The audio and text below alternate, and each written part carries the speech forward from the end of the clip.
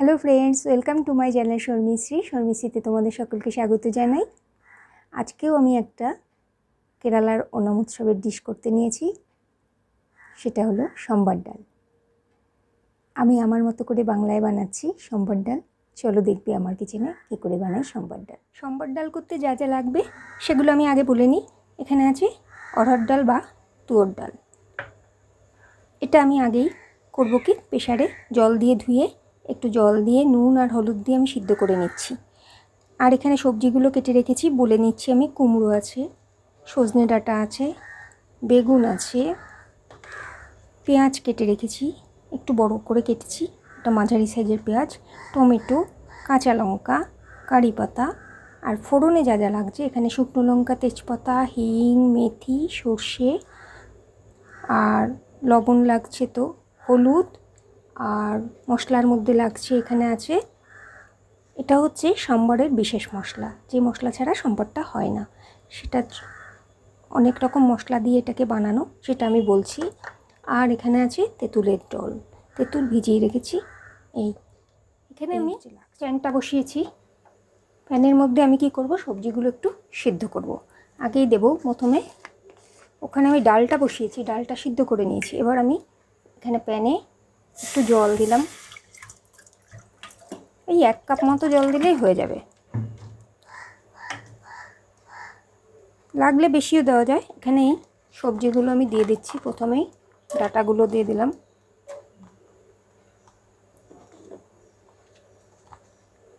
বেগুন, কুমড়ো, টমেটো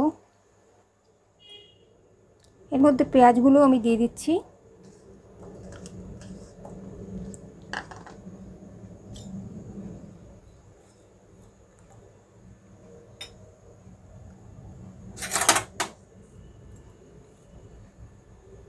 একটু লবণ দিয়ে আমি ঢেকে রাখছি। সবজিটা একটু সিদ্ধ হওয়ার দরকার। ডালটা সিদ্ধ করে নিয়ে এসছি। এখন এরকম একটু কম জল দিয়ে টাইট করে একটু সিদ্ধ করেছি। যাতে একটু যতক্ষণে সবজিটা সিদ্ধ হচ্ছে আর ডালটা তো সিদ্ধ হয়ে গেছে আমি বলে দিই সম্বর মশলায় কী কী লাগে।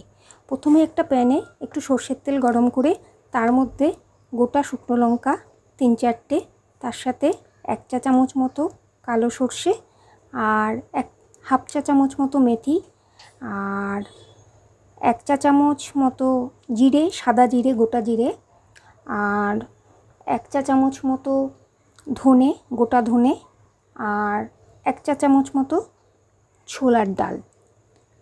এগুলো নিয়ে একটু ভালো করে ভেজে নিতে হবে। ভেজে নিলে সুন্দর একটা গন্ধ বেরোবে। এর মধ্যে কয়েকটা কারি পাতাও দিতে হবে। কারি পাতা দিলেও সুন্দর একটা গন্ধ বেরোবে এবং তারপরে তার মধ্যে সেটা মিক্সচারে নিয়ে গ্রাইন্ড করে নিতে হবে। সুন্দর করে বারবার চালালে মিক্সচারটা এরকম গ্রাইন্ড হয়। তার মধ্যে একটু হলুদ গুঁড়ো আর একটু হিং দিয়ে দিলেই হবে। মিশিয়ে একসাথে গ্রাইন্ডারে গুঁড়ো করে নিতে হবে। তাহলে এই সম্বার মশলা এসে যাবে এরকম। একটু দেখে নিই সবজিগুলো কি হয়েছে। সবজিগুলো প্রায় সিদ্ধ হয়ে গেছে, ভালোই সিদ্ধ হয়েছে, সুন্দর সিদ্ধ হয়েছে। এই সময় আমি মিশিয়ে দেবো এর মধ্যে। এই ডাল থেকে সিদ্ধ করা ডালটা এর মধ্যে আমি দিয়ে দিচ্ছি।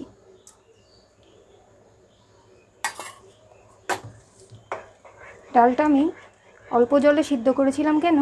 এই যে জলটা রয়েছে সবজির, এই জন্য।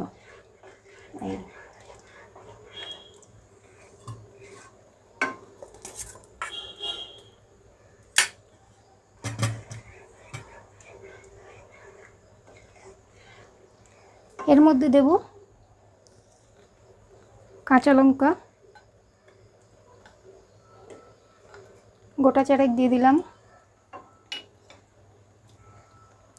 কারি পাতা কারি পাতা আমি আবারও দেবো, এর মধ্যেও কারি পাতা দিলাম। কারি পাতা এমনি আমি সোমবারের সময় দেব।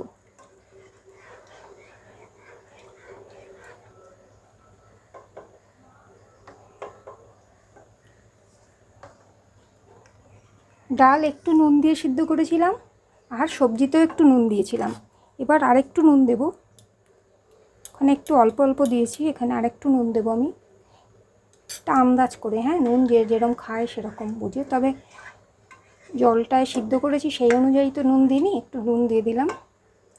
এবার এটা একটু হবে, এটা হতে থাক। এর মধ্যে যেটা আমি দেবো এখন, ডালে একটু হলুদ দিয়েছিলাম, এখানে আর হলুদ দিতে হবে না, কালারটা এসে গেছে।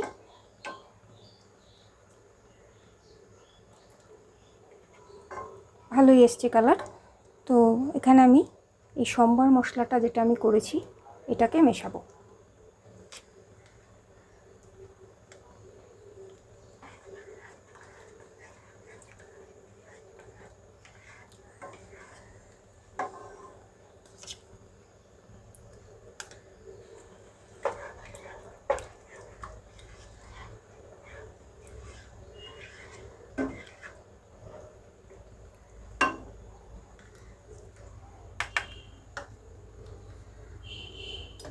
এর মধ্যে দেবো আমি একটু তেঁতুলের জল। এক টেবিল চামচ মতো দিলাম। হয়ে গেল আমার সম্বার ডাল রেডি প্রায়, এখন একটু বাকি আছে। এটা একটু গরম হবে, এখানে সর্ষের তেল আর সাদা তেল মিশিয়ে আমি দিলাম। দিয়ে এটা গ্যাসে বসালাম। এক চা চামচ মতো সর্ষের তেল দিয়েছি আর একটু সাদা তেল দিয়েছি। দিয়ে এটা গ্যাসে বসিয়েছি।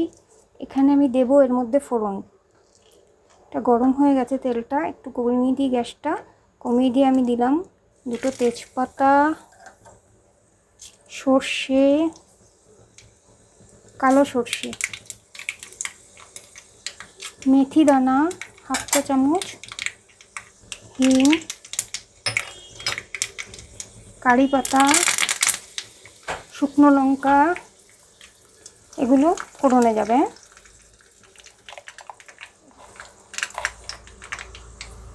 অল্প একটু সাদা জিরে দিলাম। না দিলেও হয়, কিন্তু এটা আমি একটু দিলাম সাদা জিরেটা।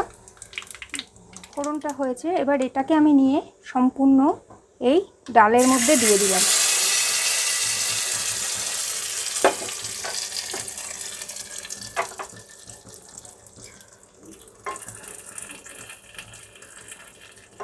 এবার এটাকে ভালো করে মিশিয়ে দিলাম।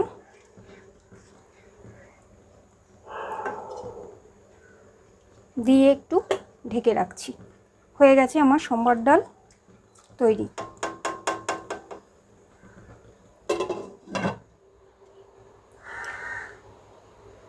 দেখো তৈরি হয়ে গেছে আমার সম্বার ডাল। কেমন করে বানিয়েছি তোমরাও দেখেছ, আমার সাথে থেকেছো। আর আমার ভিডিও যদি ভালো লাগে অবশ্যই কিন্তু লাইক, শেয়ার এবং সাবস্ক্রাইব করো। বেল আইকন দিতেও ভুলো না, যাতে পরবর্তী নোটিফিকেশান সবার আগে তুমি পেয়ে যাও। আর কমেন্টসও করো কেমন হয়েছে। এতদিন যেভাবে সাপোর্ট করেছ, আশা করি আগামী দিনেও তোমাদের সাপোর্ট পাবো। আমার শর্মিশ্রীর তরফ থেকে তোমাদের সকলকে জানাই ধন্যবাদ।